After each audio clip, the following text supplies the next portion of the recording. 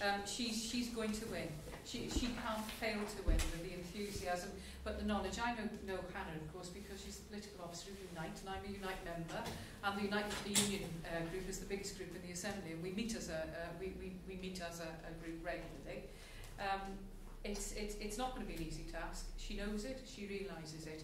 What she needs is you people at the back of her. It's marvellous to see so many people here today. And actually, you have got good campaigners here. Um, but I also know that she's reaching out to a lot of the new members, the young members, and they're joining in as well. And that's what we need. And the final thing I have to say is this.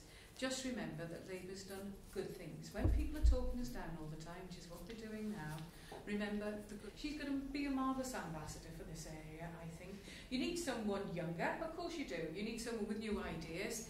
Um, I need my retirement. I've, I've been at work for 50 years. Um, I, I, I wish her every luck, but I, and I do sincerely hope that the Labour family get together and elect someone who's going to be a fantastic member for them.